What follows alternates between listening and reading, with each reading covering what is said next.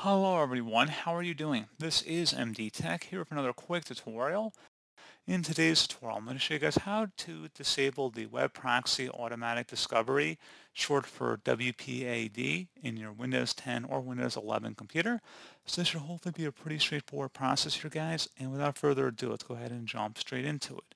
So all you have to do is open up the search menu and search for settings, best match, or go back with settings. Go ahead and open that up.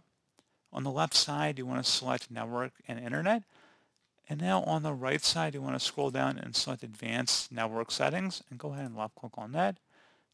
Underneath Related Settings, you want to scroll down and select where it says More Network Adapter Options.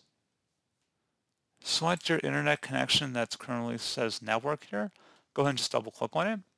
And you want to select the Properties button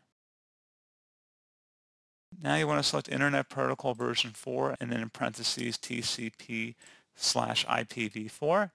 And you want to select the Properties button. Click on the Advanced button. Select the WINS tab and then select Disable Net BIOS over TCP slash IP.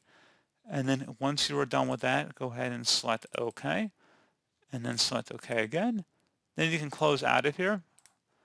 It just restarting your computer?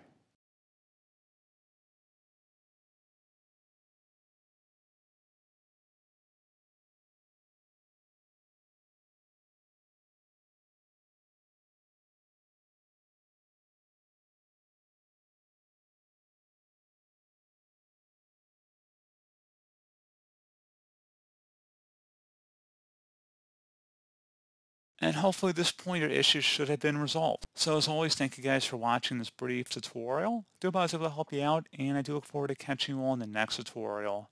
Goodbye.